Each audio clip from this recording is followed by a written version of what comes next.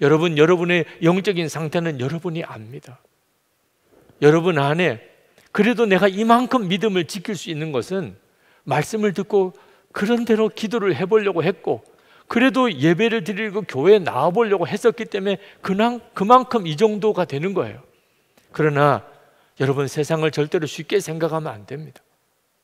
사도 바울이 그 두려운 순간에 누구도 복음을 들을 것 같지 않은 그 고린도 시에 예수 그리스도 십자가의 주님만 전하려고 하다 보니 성령의 능력이 아니고는 할 수가 없었습니다.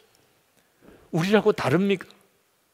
우리도 성령의 능력이 없이는 이 세상에 하나님 뜻대로 절대로 살 수 없습니다. 잠언 24장 30절 말씀.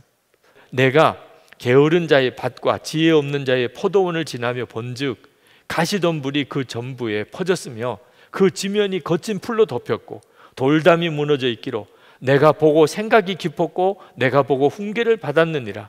내가 좀 더 자자 좀 더 졸자 손을 모으고 좀 더 누워 있자 하니 내 빈궁이 강도같이 오며 내 공핍이 군사같이 이르리라. 게으른 자의 그 논 밭 보니까 잡초가 우거져 있더라는 거예요.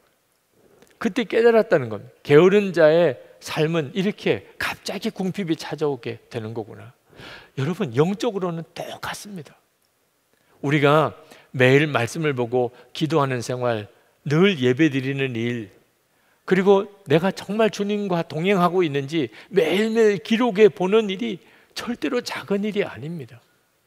그렇게 할 때 여러분 안에 성령의 역사는 계속해서 더 뜨거워지게 됩니다. 만약에 여러분이 그 일을 중단하면 어느 순간에 여러분의 영혼은 꽝꽝 얼어붙은 냉방이 되어버립니다.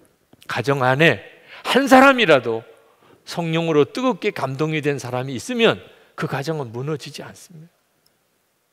그러나 가족 전체가 다 영혼이 다 냉랭해지기 시작하면 그 가정은 어느 날 한순간에 다 무너져 버립니다.